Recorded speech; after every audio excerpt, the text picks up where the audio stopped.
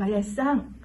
少子化が進む中、子育て支援は本当に重要ですよね。そうですね、重要な施策だと思います。新年度予算の中でも様々な事業がありました。今回はその中から妊娠子育てホットステーションの体制強化事業と新潟市子ども条例推進事業について小林副委員長と報告いたします。子育て真っ只中の私にはとても関心のある取り組みですが、内容について詳しくお聞かせください。はい。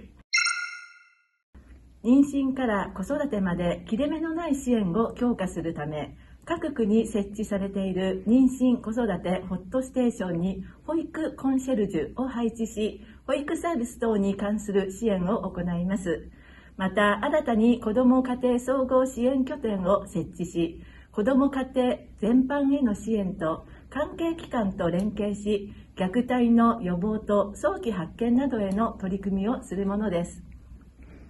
委員の皆さんからは、ワンストップ窓口になることを評価するヤングケアラーなど複合的な課題への支援体制の強化などの意見がありましたね。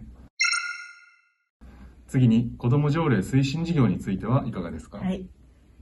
議員提案の条例として4月1日からいよいよ施行されます。子どもや市民への周知、啓発とともに取り組みを推進するために子どもの権利推進委員会が設置されます。委員会では